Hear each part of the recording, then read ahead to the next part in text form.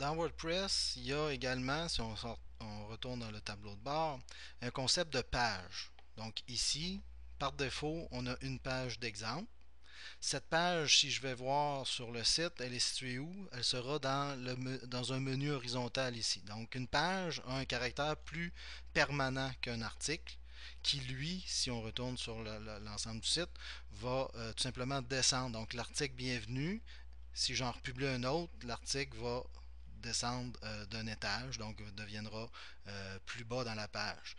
Donc ici, si je veux me faire par exemple un mot de bienvenue, une page euh, de devoir, donc une page plus permanente qui a de l'information que je veux que mes visiteurs aient régulièrement. Donc je me créerai à ce moment-là des pages, donc en allant tout simplement dans le tableau de bord ajouter une page. À ce moment-là, je pourrais ici mettre une page pour les devoirs, venir mettre une liste de dates de remise. Donc, euh, texte